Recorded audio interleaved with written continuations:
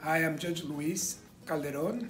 So I can remember, um, you know, being very young um, and just kind of realizing that, um, you know, it was a little different. I, I was a small child uh, growing up in South Carolina.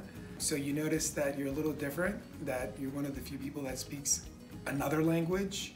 You know, it's nice to be unique and it's nice to have uh, something uh, a little different because uh, I think that's what makes everybody grow a little more.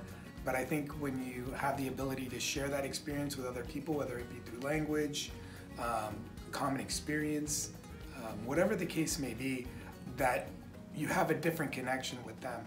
Um, and it's a unique connection because you only need to say a few words and you already kind of understand each other. It's often said that we don't know where we're going if we don't know where we came from. And a lot of the things that you know make us who we are are things that we learned when we were young. So you know having those shared uh, cultural experiences like you know eating the same food, terms that we use of endearment, um, manners of speaking, the cadence in which people speak. You know, um, especially being in Miami, so many people are from different uh, cultures within the Hispanic community that you can tell right away from somebody's accent where they're from. Um, and so you kind of uh, get a feel for uh, the kind of personality or cultural experience that they have.